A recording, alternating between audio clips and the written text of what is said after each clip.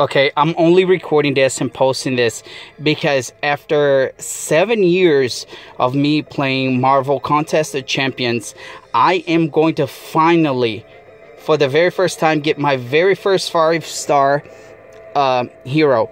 And here goes.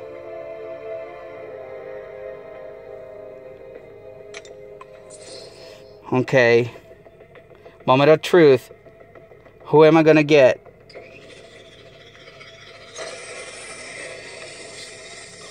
Five star, five star. I don't care who it is, as long as it's a five star.